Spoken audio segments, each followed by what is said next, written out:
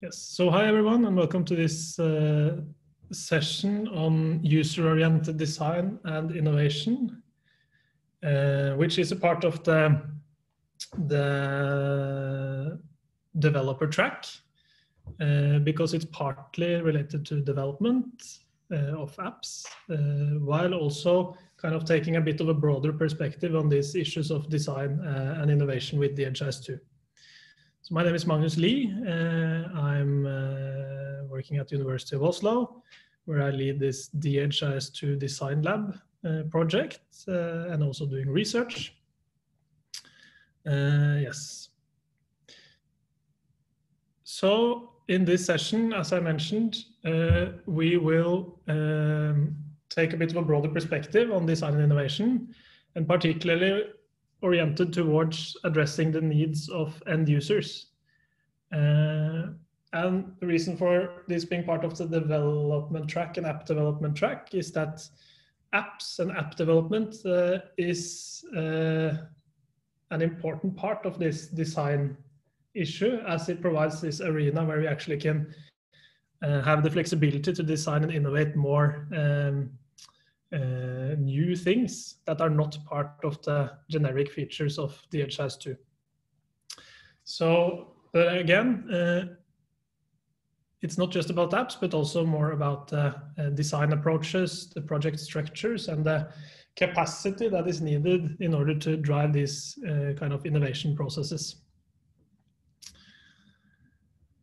So just a few words about the Design Lab for those who did not attend the small session yesterday. Um, this Design Lab project at the University of Oslo includes a group of master students, I think from 15 to 20 students we are now, uh, and also some researchers that are collaborating with um, DHIS2 practitioners uh, on multiple levels, both here at the core team and also in, in um, implementation groups, uh, HISP groups uh, in different countries uh, to try to look at what are the current kind of innovation and design practices specifically related to designing for end users and how can we kind of strengthen these these uh, practices and uh, try to make DHIS2 more usable and relevant to what is becoming an increasingly diverse audience of users, both within health, but also now increasingly also in other contexts and multiple contexts within health. Uh, and we do this by working with uh, practitioners uh, in, for example, particular implementation projects. We have been working with HISP India, uh, HISP Mozambique, and others to see how these implementation processes unfold and then to test out and uh, look at and explore the challenges of, of doing innovation in these contexts.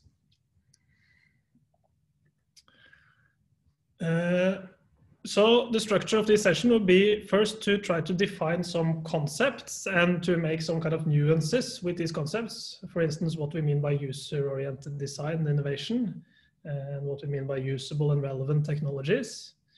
And then we will look a bit more concretely at some key challenges of doing this kind of design and innovation uh, in the context of implementing DHIS2 and then finally discuss some uh, plans we have in the design lab for the future, which also includes hopefully some collaboration with potentially some of you that are, are attending this track.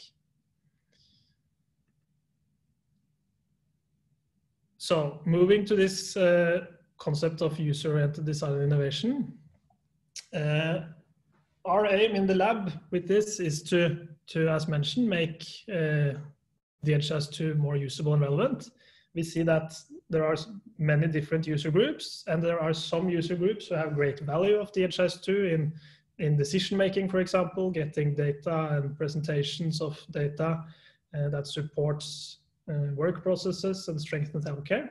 While there are a lot of other user groups that could have more benefit of DHIS2 if we were to design and innovate more with these different groups. Uh, and I constantly refer to this uh, term usable and relevant throughout this session. And with that, I basically mean that something that is usable and relevant have user interfaces and functionality and features that are uh, both perceived as easy to use and learn. So it has kind of usability. It's uh, easy for the users to, to use it.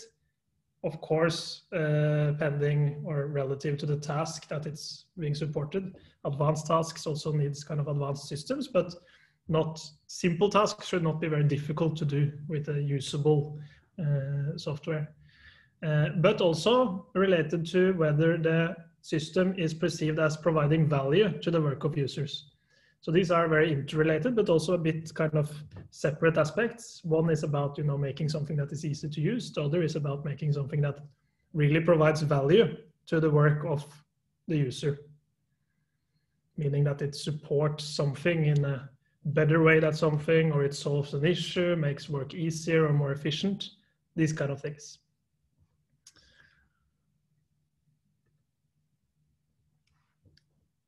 And I think uh, what is important when we talk about these concepts, uh, because there is a kind of common uh, misconception that design and user-oriented design is about, you know, finding the right colors of buttons and, you know, what is the right uh, label for this and that uh, that uh, menu or so on and so forth. Uh, but it's also a, a, bit more kind of deeper. That's certainly a part of it, but it's also about uh, what is kind of uh, typically said as building the right thing, meaning building something that is actually relevant in this context for the given set of users, and then building that thing right, meaning, for example, making it easy to use and understand and, and learn. And I think that's it's just important to have that in mind that it's not just about fancy user interfaces or user interfaces with the right colors and labels and texts, but also about what is actually a useful thing in this context when we are designing. So when we are uh, implementing the DHIS2 and we, we want to support the work of some users, for example, in health, what kind of features would make this uh, the right thing for them to provide value to their work?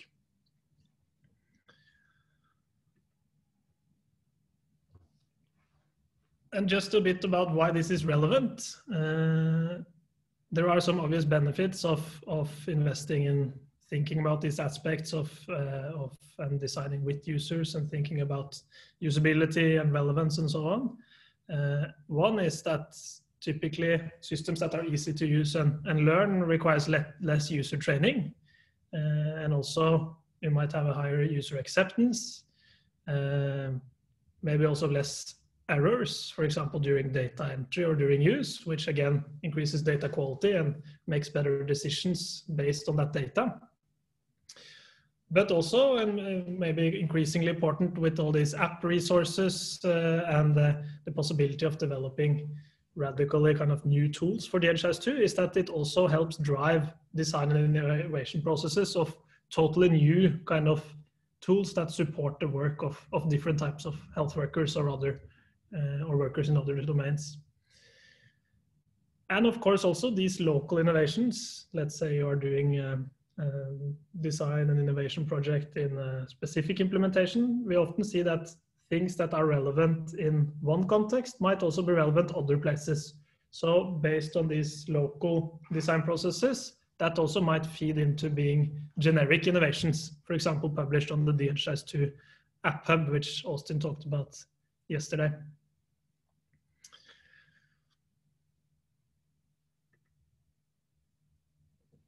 So one issue with DHIS2 and also which it shares with a lot of other kind of generic software solutions is that what is the right thing uh, for the users and the right thing uh, or the right way to build it and so on and so forth could typically vary across uh, contexts. So something that is very usable and relevant in uh, Uganda at a certain context there might might not be relevant in other place and so on and so forth. And this makes it very hard for the core team to to to design kind of a one size fits all solution that works perfectly anywhere. So typically what is usable and relevant depends a lot on the practices and the way things are organized in the specific context where the system is going to be used. And this is very hard to then accommodate when you're designing for multiple contexts. Uh, thus, uh, doing these kind of user-oriented design processes uh, should also be an important aspect of the implementation of a DHIS2. Uh, so when the software is taken into a concrete context, then uh, it is important to then to work uh, with the specific needs in that context. And again, apps is then one approach to kind of addressing very specific needs in these contexts. And because of this, in this design lab that we are running here, we have a very particular focus on the implementation level design, as we call it, uh, where some of our key questions are, how can DHIS2 be customized and extended to meet very particular needs? So needs that are not met by the generic features or let's say user interfaces or functionality that is not ideal in a context, how can kind of that uh, be responded to on the level of implementation without going through the whole kind of uh, Jira cycle and, and making all the changes in the kind of generic bundle of DHIS2. Uh, then also what are appropriate design methods? So what kind of methods can be used to, for example, engage with users, prototype and evaluate with users, and so on and so forth? and then what kind of resources could be provided from uh, from uh, the side of the core developers and from the design lab and from and from kind of the generic level uh, to better support this. And again, one very good example here are these app development resources, both for web and Android, which for, for instance makes it much more efficient and easy to develop uh, apps and tools based on specific needs. But then also what about, for example, methods and processes, implementation guidelines, and so on? So these things are, uh, are stuff that we are exploring in the, in the design lab. So just to say a bit about what we mean about uh, innovation uh, and also kind of who we are designing for and how. And I think two key questions is what are we actually building when we are implementing DHIS2 and I will touch upon the difference between the concept of digitization and digital innovation, which are two related but different things. Uh, and who are we then building these things for? So who are these, these uh, things that we're designing and developing relevant for? So this is just to kind of get on the same page uh, on what what we kind of mean by innovation and design and to to try to create maybe some ideas and awareness uh, around this. So uh, there is an important difference between what we call digitization and digital innovation. So digitization, that refers to actually making kind of a digital version of an analog system. So taking something analog and making it into something digital. So some uh, would call this putting electricity on paper. So uh, for example, taking a paper-based uh, system and then kind of making the exact same system, but with a digital system. Then digital innovation, uh, that is actually a bit of a, it's a bit of a more uh, extensive thing where uh, some have defined it as uh, combining digital technology in a new way and also potentially with physical non-digital components which enable some kind of social technical change and create new value uh, to the adopters or the users. So this means that in contrast to digitization, where you're kind of building the same system in a digital format, with digital innovation, then you're doing something new using these digital capabilities, uh, which results not only in that, okay, now something is not analog anymore, it's digital. It actually enables some kind of social technical change, changes in work practices, changes in how people work, uh, the services that they can offer, these kind of things. And thus then creating some kind of new value for these adopters of this technology, for instance, the end users.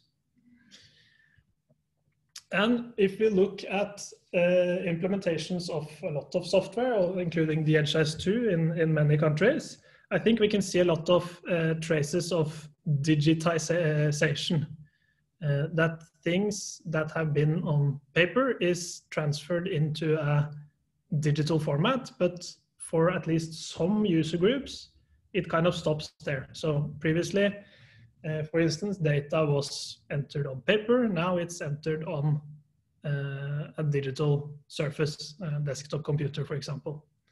So this is an example for that specific user. This is an example of a digitization process.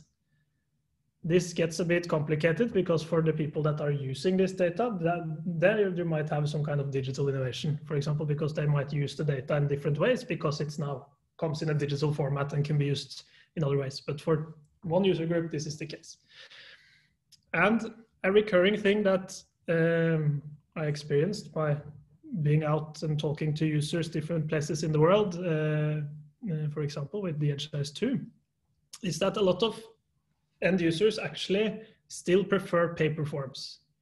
So then this quote is from a user somewhere uh, saying that I prefer the paper forms uh, because it's easier to fill out, it's easier to carry around, easier to comment, it's more flexible in kind of any way, and it doesn't require any electricity. So for this user, uh, moving to the digital world hasn't kind of provided any, from their perspective, any, any additional value to their work specifically. It might have provided value to someone benefiting from the data outputs, but for them, this is uh, clearly not kind of an advancement to move to a, a digital world through digitization. And I suspect, at least when I talk to implementers uh, around the world, I think this is a uh, not kind of a surprising thing. Uh, this is something I experience many places that users, especially data, uh, people that enter data without actually using that data much, um, let's say from a health facility somewhere, uh, doesn't always see the benefits of, of you know having just a copy of the paper form in a digital format. Typically, just more cumbersome to to enter data. So I, I, will give a couple of examples uh, of uh, what, you know, at least hints of digital innovation if, uh, if we were to kind of do more digital innovation looking things with this kind of uh, uh, example.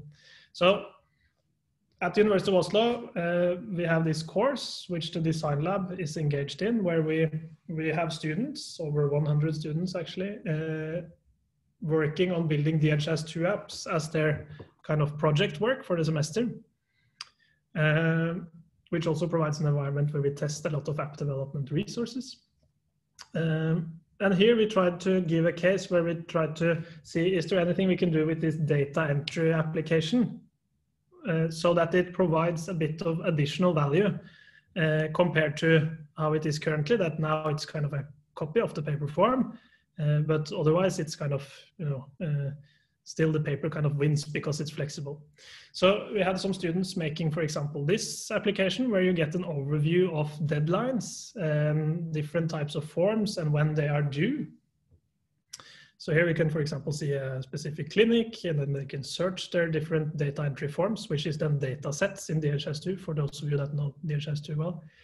Um, where then can see, okay, which forms are due soon, which are overdue and expired, and so on and so forth. And then you can even get an overview of different health facilities and when, uh, now what, how many forms have a different status. So these red ones are something that is overdue actually. So they need to, looks like they have a lot to do, the user that is using this. So what is happening here is that it's it's not just a kind of digitization thing anymore. It, it has some hints of digital innovation. It's trying to you know add some additional value, which was not possible in the analog paper-based uh, regime. And I think the point is that there are a lot of examples of this out there uh, when working with users and implementations. We see a lot of these things that you know could be added to provide additional value to DHIS2 uh, and to the end users, of course, uh, and which is it would be interesting if we were able to act more on these these kind of things. Uh, another example, which is a more extensive kind of digital innovation uh, thing, is uh, uh, a case where we supported health logistics management especially uh, uh, reporting consumptions from health facilities of medicines and equipment and so on and so forth, um, where they earlier had a bi-monthly kind of reporting regime. So they reported every bi-monthly thing. They had to bring up these paper books where they had registered different transactions and then they calculate it and then they send it uh, uh, through DHIS2 and then it's used for distributing medicines and planning and so on. So uh, the users there, they again, they prefer the paper-based regime or the, the, the, the, hospital store workers because that was this, uh, these paper forms were more flexible and so on and so forth. So in the course, we experimented with what can we do to make it a more, um, you know, uh, useful tool for them. And then someone created this commodity dispenser system, which kind of removes the need for all this bi-monthly reporting and rather introducing a dispensing system where the user, every time they dispense commodities, they register it here. So then you eliminate that kind of, or replace the paper-based system for that. And then the reports are generated automatically based on the data that you enter kind of continuously through the system, which again then reduces, you know, the, the, the reporting burden that you have to do every by month. So that's also a, an example of um, of uh, trying to kind of think differently and, and building something uh, which provides value also to the, the kind of data entry side of, of, uh, of the DHIS2. And again, this is uh, things that are powered by you know building, in this case, web-based applications uh, for the DHIS 2. So we quite quickly, I think in four weeks or something, the students had built an app that, that were able to address uh, some of these basic needs in this use case. I just also wanted to highlight some of the kind of real innovations from out there. I think also an excellent example of uh, some kind of digital innovation providing new value uh, to someone is this uh, smart display app by HISP Uganda, uh, where they, as they describe it, saw a need that, you know, decision makers are sitting in a room and they are doing, you know, meetings where they are discussing and so, uh, and then they saw that, okay, maybe we could you know, support this specific activity that they're doing by building an app that has this kind of slideshow of different graphs that they can kind of uh, use as a discussion arena. Uh, again, an ex excellent example, I think, of a, of a small but important digital innovation for DHIS2. Yes, so that was a bit about digitization versus digital innovation. And again, I think there is a lot of potential to move more uh, of our design work also towards digital innovation uh, and not just the digitization part. Of course, there is always a lot of digital innovation going on. And I think maybe the data output side has, you know, radically improved a lot of aspects related to decision making and so on and so forth. But still, there is a lot of potential in thinking, you know, beyond the, the digitization of, of paper reporting, for example. Then another very relevant question is who are we building for? So for whom is the systems we're building relevant? And I, I, I found this very interesting uh, uh, thing in the news a, couple, a year ago or something. Uh, where uh, a UK startup created, and I'm quoting here, creates an uncomfortable toilet to increase workers' productivity, uh, which is called Standard Toilet. And you can see it here on the left-hand side. There is a toilet which is tilted slightly forward, which makes it uncomfortable to sit on the toilet for a long time. And the point is, uh, according to them, then to um, to limit the time that uh, uh, their workers are spending in the toilet because people are sitting on their phones and, and, and, and spending a lot of time in the toilet. Uh, which also brings a semblance to a Norwegian innovation many years ago in the late uh, 1700s, uh, which is called the Folldal mine toilet, uh, which, which, was built on the same principle. You see that it's tilting forward so that the user of the toilet uh, will get tired of sitting on it, so they spend as little time as possible on the toilet. An interesting question to ask uh, here then is, you know, who is this relevant for? Because here there has obviously been a design process and kind of an innovation process trying to solve uh, some kind of uh, issue, which obviously is, you know, relevant and it claims that it is, you know, uh, beneficial for someone. But it is obviously not made, you know, thinking about uh, the real kind of end users. Uh, as it says in the here, the main benefit is for the employer, not the employees. Um, and I think that's also relevant when building, you know, information systems and, and software for reporting. Who are we building? Uh, who are we kind of involving in our design processes, and who are we trying to make the system relevant for? Is it, uh, for example, IT project managers? Are they the ones that are driving the process and you know uh, deciding on all the needs and and what what should the system uh, be? and for whom? Is it the health managers on the top level or on the different levels of the uh, the the health hierarchy? Uh, is it clinicians like nurses and doctors if they are you know users of the system, or is it the data entry clerks, for example? And I think at least one one group of users that might be sometimes neglected in some of the projects I've been involved with, at least, is the data entry clerks uh, with this you know this data entry thing as a as a readily uh, available example that you know it's for for some people and maybe also for let's say nurses that actually are occupied with you know talking to patients and working with them they also have to do this routine reporting and then if the data entry tools are not providing any value then it kind of it is a burden rather than a benefit to go to digital format Yes. So the point being that okay, there is a difference between you know digitization making digital versions of paper processes, and then trying to you know provide new and valuable capabilities for different users. Uh, and there is of course a kind of question: Who are we building something relevant for? Is it for uh, for top managers? Is it for uh, clinicians and uh, nurses? Is it for uh, yeah different uh, people?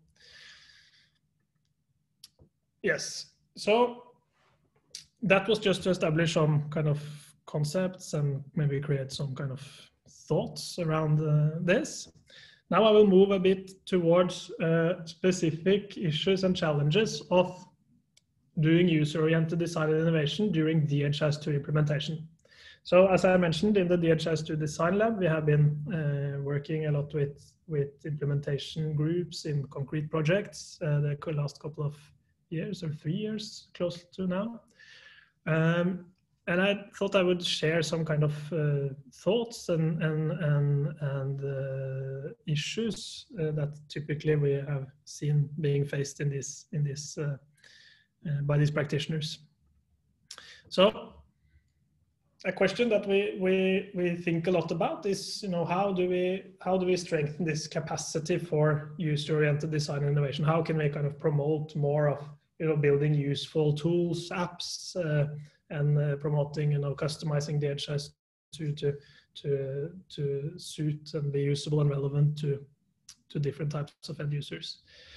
Uh, and I think there is, at least based on our experience, uh, three kind of dominant uh, and important aspects in these processes, which is both related to the software, but then also to the practices of actually implementing the DHIS2 and the competence and awareness and uh, kind of user orientedness in the implementation practices itself.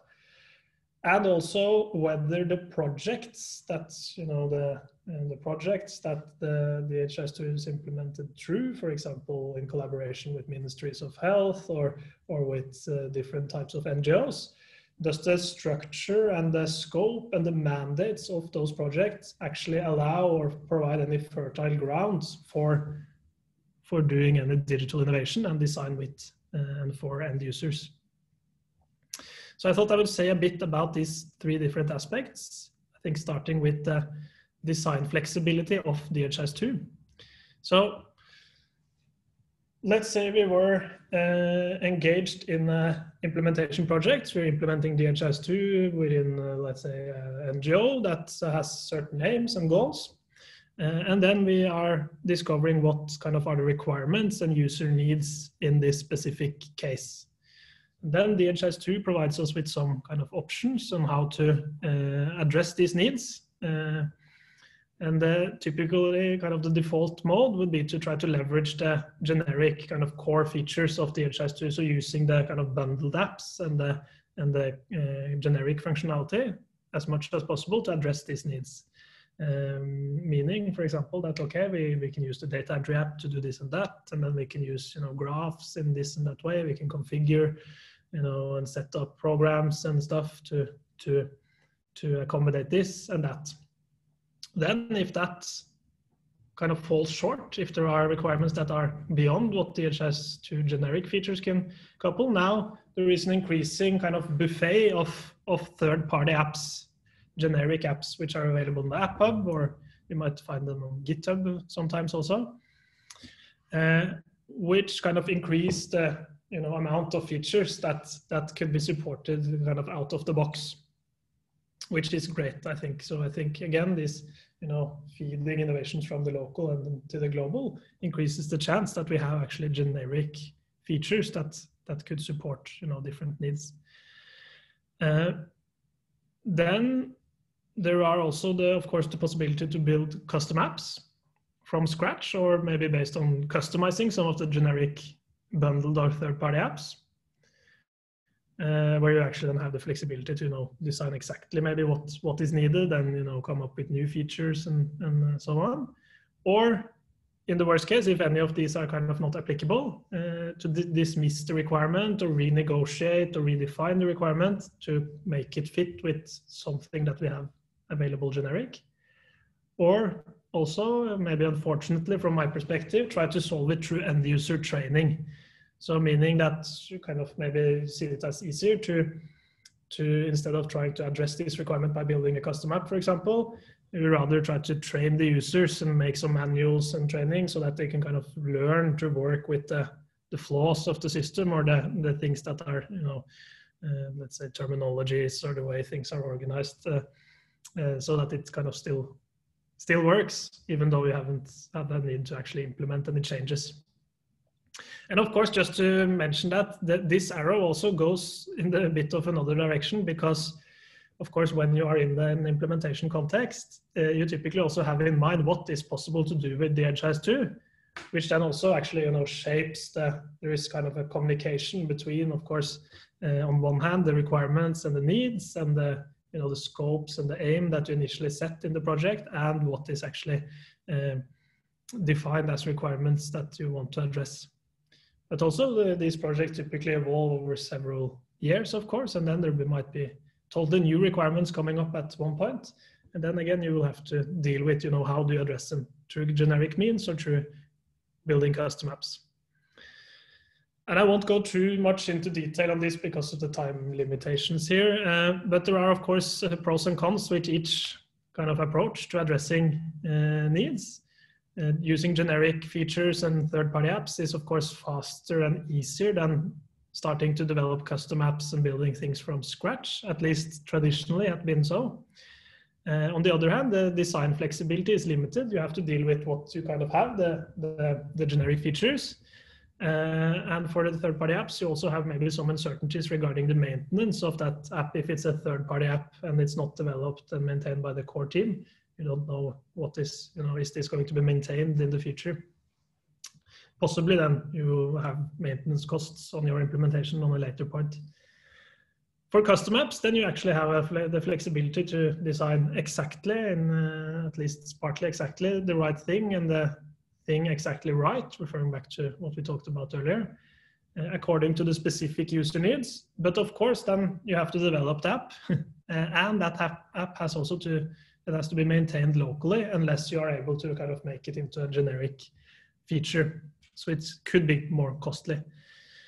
As a note to that, I would say that this app development platform resources, which Austin talked about yesterday, is a great kind of example of how to try to keep the flexibility of developing custom apps while actually trying to eliminate or you know externalize some of these um, costs of developing and maintaining apps. So with this app development platform now, you actually have a lot of flexibility to design things, but a lot of the aspects that goes into an app is actually maintained and developed by the core team. So the, the weight of that maintenance and development becomes less So it's going to be very exciting to see in the future how much you're able to kind of make it uh, keep the flexibility in order to you know design new features, new functionality, new user interfaces based on local needs, while actually trying to you know have as much as the uh, as possible of the development and maintenance work uh, kept on the core team or on the generic level. Of course, this option of dismissing or solving it through end user training uh, is not a kind of ideal thing many times, uh, but it happens a lot. I've seen it in many places because it, of course, then doesn't require any custom development. But then, of course, the usability and relevance of the software might suffer if you're not able to build actually what what is needed and what is what is the ideal thing in that context. And again, then data quality, user acceptance, and and the potential benefits of digital innovation might then uh, you know suffer. Yes, so that was a bit about this technical flexibility thing. Moving back to this triangle again, the one of the elements of capacitating user-oriented design innovation is about you know having flexibility, and I think then the app development platform and the also SDK for Android is a great kind of advancement in this field, making it possible to easier and faster and cheaper create innovations, increasing the capacity here. But then also it's about design methods and approaches. So how do we actually then design when we implement the DHIS2? How do we go about uh, engaging with users and, and uh, doing these kind of things? So there are a lot of these design methods that have been developed to, to guide the kind of user-centered or user-oriented design. So there are, for example, this human-centered design approach, something called participatory design, which emphasizes a lot of participation from end users. And these have some kind of typical steps that uh, needs to be done in kind of a iterative manner, typically, to in order to try to build both the right thing and, and uh, building that thing right, as they say. So one of them is to try to, when designing systems, you should uh, always use the existing practices and needs of users as a starting point. And this means that it is a kind of very important activity to try to understand what is needed by the end users. And of course, this always happens in an IT project. There is kind of a phase of requirement definition and requirement analysis and, and you know, defining requirements. But typically the argument in these user-centered or user-oriented uh, approaches is that this should not be dominated just by the IT project team and by you know, top level managers, but also involving the users that are actually you know, using the system on different levels. So for instance, then, you know, when building a reporting system based on DHIS2, one should then engage also with, for example, the people entering data at the lowest level, and so on and so forth, and then understand what are their practices and needs, and then analyzing and ideating how can we then support this in a good manner. And I think uh, by looking at implementation projects, different places in in um, uh, around DHIS2, there is a lot of this going on already, and some places there might be you know very dominated by top level managers and not maybe that much of user activities. And in other projects, there is a lot of you know going into the field, trying to understand how the users work, mapping out their tools and processes, and then you know basing the requirements on that, which I think is great. Another important aspect typically promoted by these approaches is that there is a kind of an ongoing iterative prototyping and evaluation process. So based on this initial understanding of the needs and the practices of the users, uh, one develops prototypes, which are then ideally built very low fidelity at first, maybe just using paper. Uh, for instance, trying first to test out the concept. So is this the right thing? Starting with that. So understanding what would be a valuable addition to your you know, work and and what could make things easier and what could address your challenges. Uh, and then maybe gradually building kind of more high fidelity prototypes, starting also to address how do we build this thing right, uh, meaning, you know, more about is it intuitive and easy to learn and easy to understand and so on and so forth. So in the DHIS2 example, that would be, you know, experimenting with DHIS2. Uh, one issue typically with DHIS2 is that since it's kind of it's possible to very easily configure quite a high fidelity uh, prototype with the kind of generic DHIS2. Uh, sometimes it could be easy kind of to jump past the more what is the right thing, which is maybe that easier when developing apps where you have you know more flexibility and you can really explore you know what is the right thing in this setting, not just kind of bringing always bringing the same data entry app regardless of what you learn in the in the when you try to understand the practices and the needs. So how this typically looks in a DHIS2 context in many places would be that you have this process of understanding the practices and the needs, talking to users. So maybe you ask them, tell me about your work, going out there in the field. Then they explain that, okay, we do this and then we do that. And we use these tools to gather data. Then we send it for approval here and there. And then what I think is very interesting is that if you are a very kind of experienced DHIS2 implementer, then you already you know have a lot of concepts in your mind. So you know, okay, when the user is saying, okay, we do this, and then we have this report, then there is kind of a analysis process going on in the head of the, the DHIS2 expert listening, thinking about, you know, data elements, program stages, tracker, uh, you know, custom form, that's what we need for this. And then this is kind of an ongoing kind of mapping from the real world into uh, the world of DHIS2 and the, the kind of uh, capabilities that are available there. Um, and sometimes you might also then think that, okay, here we actually need a custom app. But again, this is typically then, you know, matched towards what are the budget of the project and what are the scopes and the aims. And sometimes maybe custom apps is not an option. And I think what is interesting is, you know, sometimes the output of this process, you know, going and talking to users and then analyzing and thinking about what could be built, sometimes this uh, translates into kind of a digitization initiative, at least for some users that, you know, now you're going to do this not on paper, but on a kind of digital copy of paper. And sometimes it actually results in, you know, more digital innovation kind of things and I think again, this is you know the why this kind of could result in three things is one how you do this first thing. How do you actually go about you know talking to users?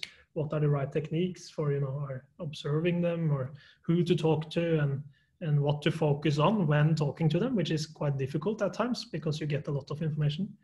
And then what how is this analysis and ideation process going?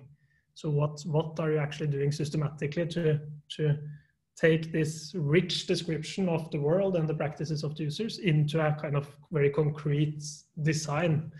Um, so that's one aspect. Other is, you know, is it viable to think in terms of customization and building custom apps? How much flexibility do we have to not just use generic features, but actually, you know, experiment with with uh, with totally new kind of features. Um, and then, as I will turn to quickly now, is the and then also you know what what are the kind of scopes and the mandates in the project? Uh, is there room for for thinking outside the box or has it already been defined that this is going to be you know like this? Then maybe this not isn't actually feeding that much into anything.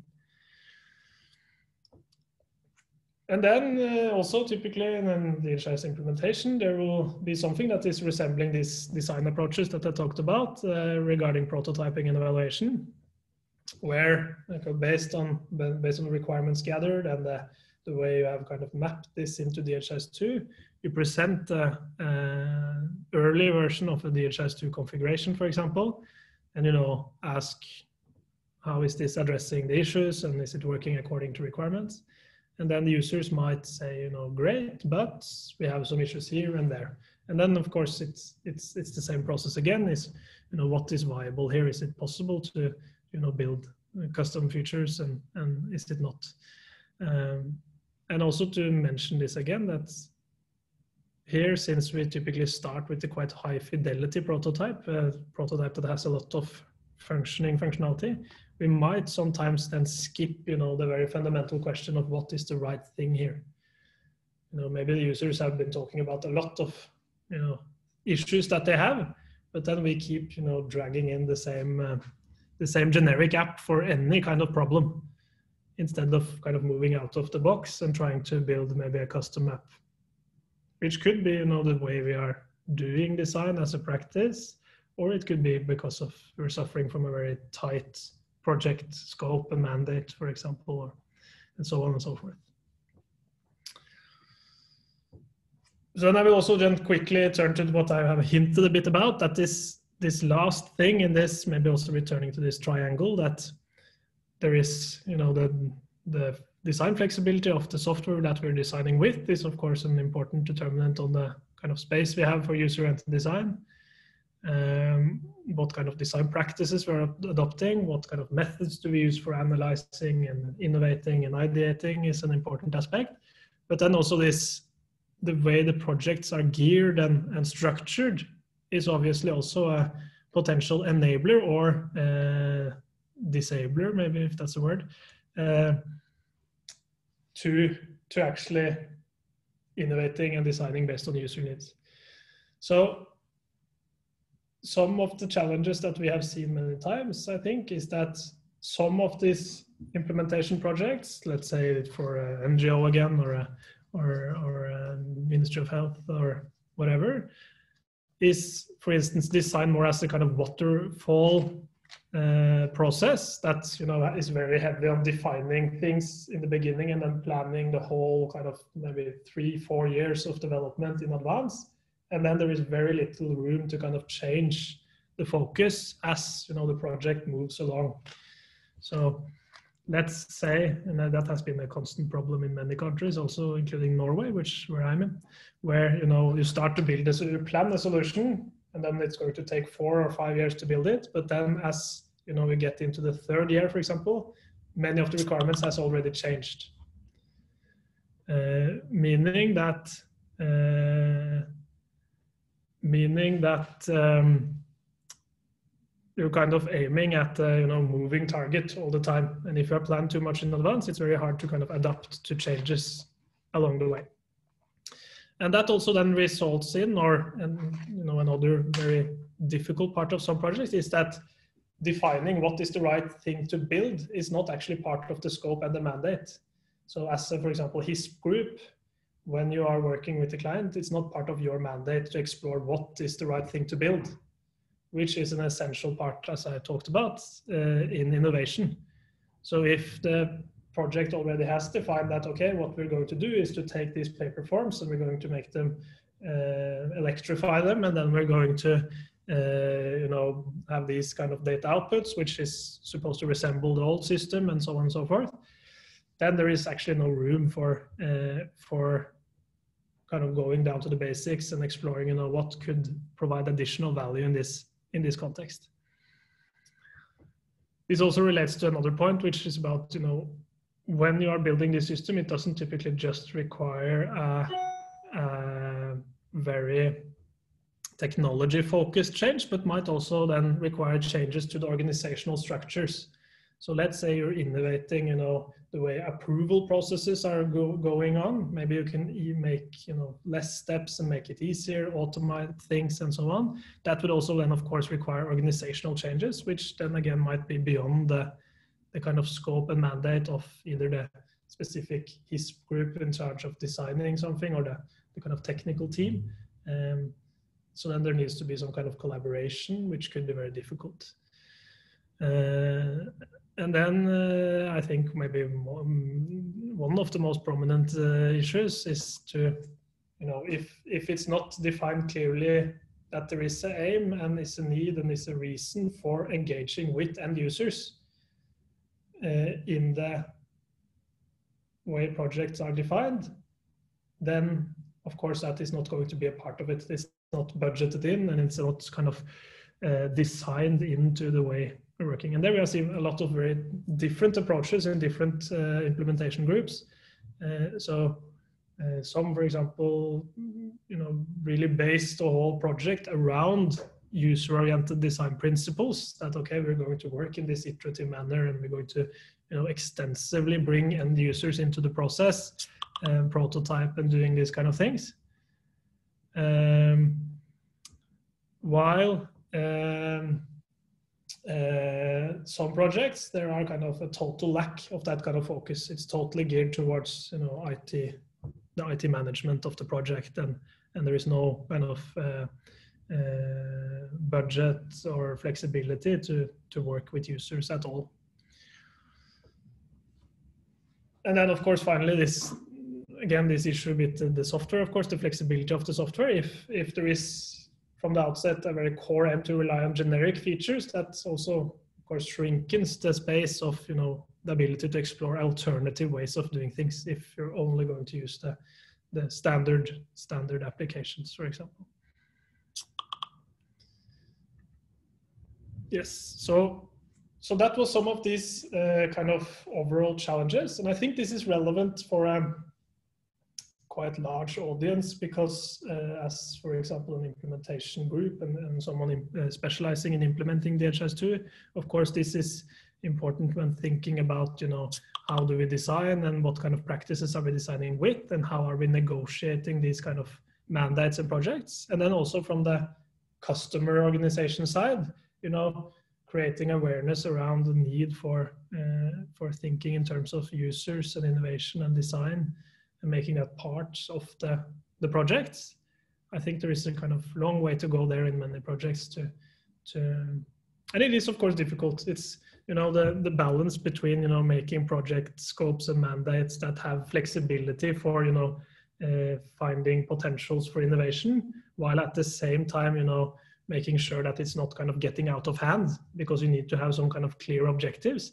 That's a very difficult difficult thing and it's one thing that we're also exploring together with some of the HISP groups in the design lab you know what what kind of mandates and scopes are kind of balancing the need for you know control and trust and so on with the kind of right type of flexibility for allowing innovation and, and user oriented design to happen and also not just you know building the thing right but also then exploring how, what is the right thing to build in this given given context. So finally, I will just wrap it up. I hope this uh, some of these uh, topics, phenomenon, and challenges that I touched upon was uh, interesting to some of you. Um, so I will just say a bit about what the future plans for the DHIS2 Design Lab uh, are. So uh, what we already do and what we want to continue to do is work very closely with HISP group, but also uh, groups in different countries, such as India and Mozambique and so on. Uh, but also with other DHIS2 practitioners, uh, maybe in independent implementation specialist groups or, or user organizations in exploring, developing and documented uh, best practices around these kind of design and innovation things and especially trying to work together on you know looking at what what are the current practices of trying to design and innovate and maybe also in kind of implementation of DHIS2 in general. And then looking at you know what do we have any space and opportunity here to test out new kind of techniques and ways of working with mandates and processes to increase our kind of innovation uh, capabilities? Then we're also in the process of discussing to establish some kind of DHIS2 design and innovation community so let me know if anyone are find these things very interesting and would like to kind of be part of a more kind of open and global initiative on exploring these things. Uh, and then we're also working on this DHIS2 user-oriented design and innovation toolkit, where we want to you know combine this kind of related to these app development resources, but also focusing on the capacity related to conducting and you know negotiating the mandates for user-oriented design and innovation in in projects. So last slide, I just wanted to say that please write on the community of practice in this session Q&A, which I think is linked in the chat here, uh, or contact me on my email address at any time if you have any questions, thoughts, or ideas related to the things that I discussed in this session, uh, or if you have any experience with, uh, you know, doing user-oriented design and innovation and, you know, have some interesting uh, experiences with success or with challenges, uh, or if you have been involved in any concrete projects where you have been, you know, uh, again, either successful or found a lot of challenges with trying to work with users and innovation. Uh, and of course, also if you want to learn more about these things or if you want to collaborate with us in the design lab on exploring methods and understanding challenges about this, please uh, please uh, write post on the community of practice or uh, send me uh, an email. Yes. So I guess that was it for me. Uh, thank you very much for joining the session uh, and hope to hear from some of you regarding these things. And I'm looking forward to see the, you know, the, the future of DHIS2, especially related to, you know, innovation and apps and supporting an increasingly diverse and, and dynamic audience of users with, with usable and relevant tools. Thank you.